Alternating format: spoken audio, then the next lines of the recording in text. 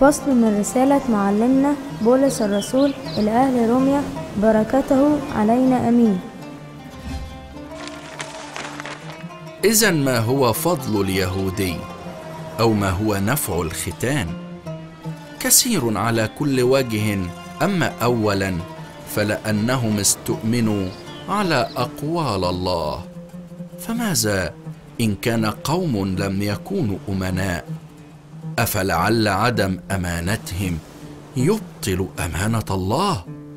حاشا بل ليكن الله صادقا وكل إنسان كاذبا كما هو مكتوب لكي تتبرر في كلامك وتغلب متى حكمت ولكن إن كان اسمنا يبين بر الله فماذا نقول؟ ألعل الله الذي يجلب الغضب ظالم؟ أتكلم بحسب الإنسان.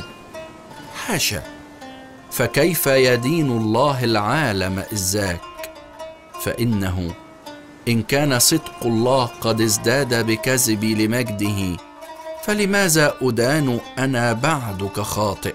أما كما يفترى علينا وكما يزعم قوم أننا نقول لنفعل السيئات لكي تأتي الخيرات الذين دينونتهم عادلة. فماذا إذن؟ أنحن أفضل؟ كلا البتة.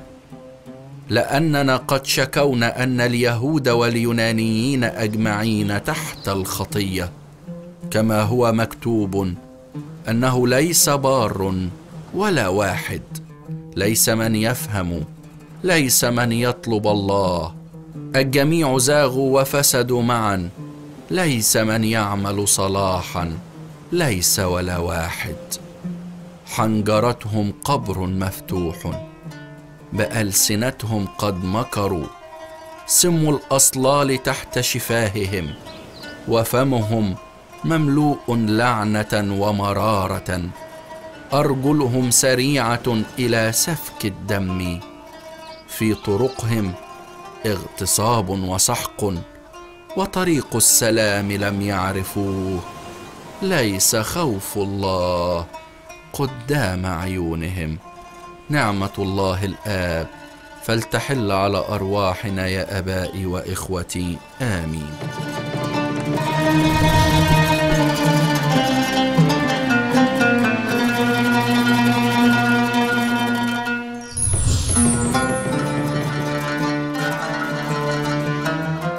الكاثوليكون فصل من رسالة معلمنا يوحنا الرسول الثانية. بركته علينا أمين.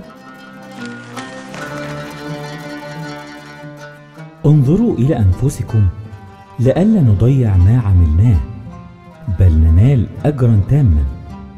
كل من تعدى ولم يثبت في تعليم المسيح فليس له الله. ومن يثبت في تعليم المسيح فهذا له الآب والابن جميعا.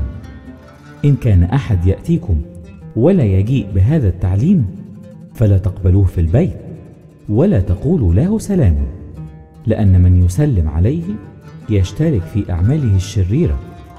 إذ كان لي كثير لأكتب إليكم لم أرد أن يكون بورق وحبر لأني أرجو أن آتي إليكم وأتكلم فما لفم لكي يكون فرحنا كاملا. يسلم عليك أولاد أختك المختارة.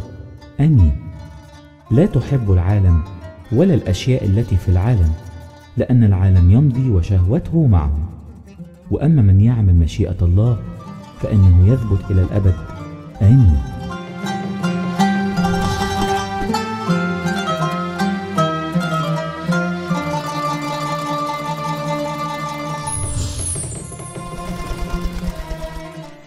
الإبراكسيس فصل من أعمال آبائنا الرسل الأطهار المشمولين بنعمة الروح القدس بركاتهم المقدسة فلتكن معنا أمين.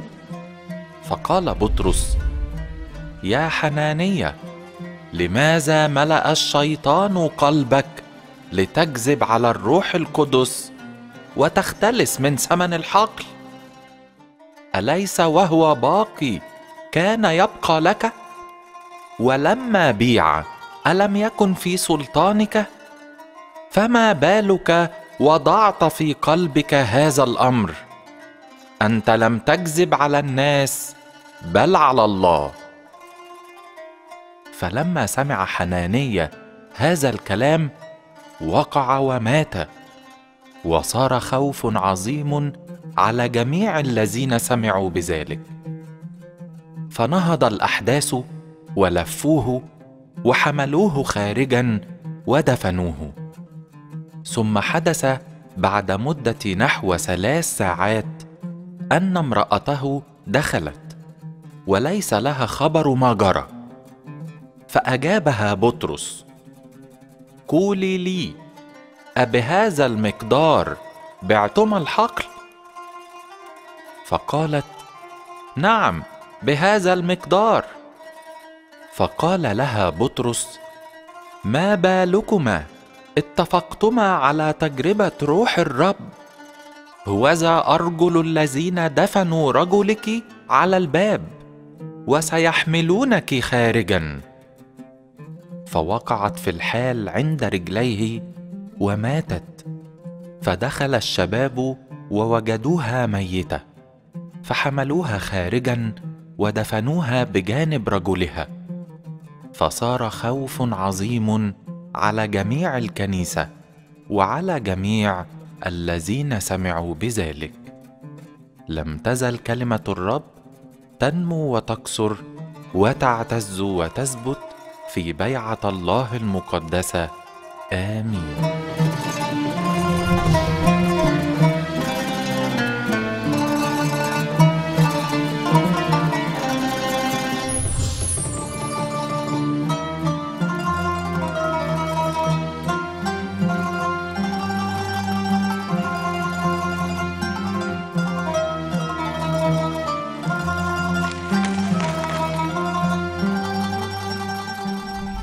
النهاردة يا حبايبي تمانية برمهات. أحسن الرب استقباله ويعيده علينا وعليكم ونحن في هدوء واطمئنان مغفور الخطايا والآثام من قبل مراحم الرب. آمين. زي النهاردة من سنة 68 ميلادية استشهد القديس متياس الرسول. اتولد في الجليل وكان من المرافقين للرسل وكانوا عاوزين واحد بدل يهوذا الإسخريوطي لأنه مكتوب في المزامير نبوة وليأخذ وظيفته آخر. وكما ورد في أعمال الرسل الإصحاح الأول إنهم عملوا قرعة بين يوسف الذي يدعى برسابة الملقب يسطس ومتياس. فوقعت القرعة على متياس فحسب مع الحداشر رسول. وبعد حلول الروح القدس يوم الخمسين بشر في بلاد كتير وراح مدينة اسمها بورتوس في جنوب شرق آسيا. وقبضوا عليه وسجنوه. وطلب شفاعة العذراء مريم والدة الإله. وأول لما وصلت العذراء مريم على سحابة نورانية للمدينة وصلت لابنها الرب يسوع اتحول فيها كل الحديد إلى سائل زي الشمع. وراحت على السجن وخرجت متياس الرسول وكل المسجونين بسبب الإيمان. والي المدينة لما سمع قال أنا عاوز أشوف العذراء مريم. وفعلا راحت له ومعاها القديس متياس. قال لها أنا ابني مريض بمرض عقلي. صلت العذراء وفي الحال شفي من مرضه. ورجع الحديد زي الأول وارتفع التاني للسماء فآمن الوالي وكل أهل المدينة وعمدهم متياس الرسول ورسم لهم كهنة وكمل كرازته. ووصل دمشق وبشر أهلها بالسيد المسيح فقبضوا عليه وعذبوه وشافوا وشه منور زي الشمس فأمنوا وعمدهم ورسم لهم كهنة ورجع أورشليم. لكن اليهود رجموه بالحجارة ونال إكليل الشهادة. بركة صلواته تكون معانا أمين. وزي النهاردة من سنة 188 ميلادية تنيح القديس البابا يوليانوس البطريرك الحداشر من بطاركة الكرازة المرقسية. وقبل نياحته ظهر له ملاك الرب في رؤية وقال له اللي هيدخل عندك ومعاه عنقود عنب في غير أوانه هو ده اللي هيكون البطريرك بعدك. ولما اجتمع مع الشعب قال لهم على الرؤية بصوا لقوا القديس ديمتريوس دخل ومعاه عنقود العنب بيقدمه للبابا. وفعلا بعد نياحة البابا يوليانوس اختاروه البطريرك بعده.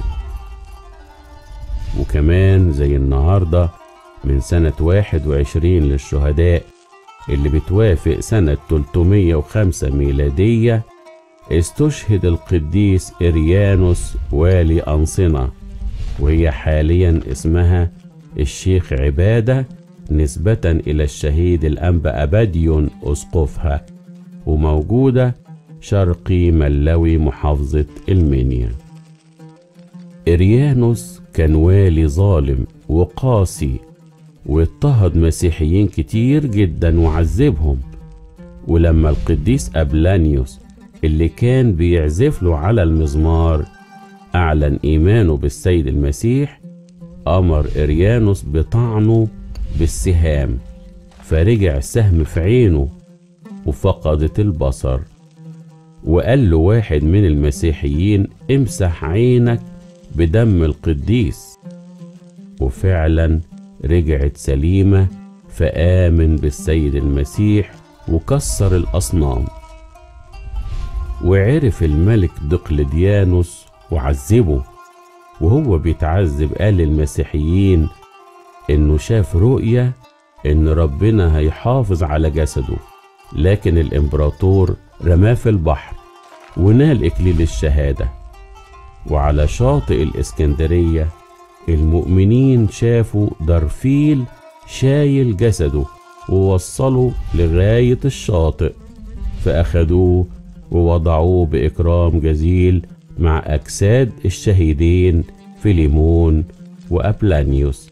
بركة صلواته فلتكن معنا ولربنا المجد الدائم إلى الأبد آمين.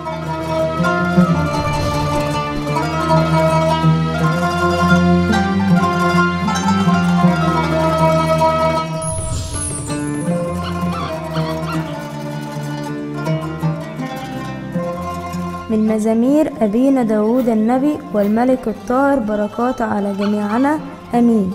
أحبك يا رب يا قوتي الرب صخرتي وحصني ومنقذي إلهي صخرتي به أحتمي. ترسي وقرن خلاصي وملجئي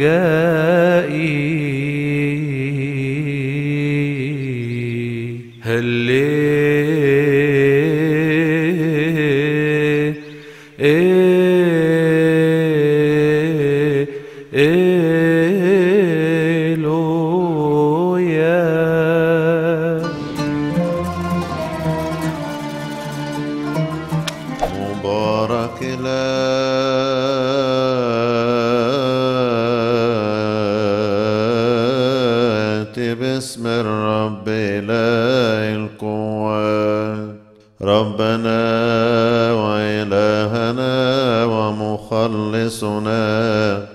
ومالكنا كلنا يسوع المسيح ابن الله الحي الذي له المجد الدائم إلى الأبد آمين. وأما يسوع فدعا تلاميذه وقال إني أشفق على الجمع لأن الآن لهم ثلاثة أيام يمكثون معي وليس لهم ما يأكلون ولست أريد أن أصرفهم صائمين لئلا يخوروا في الطريق.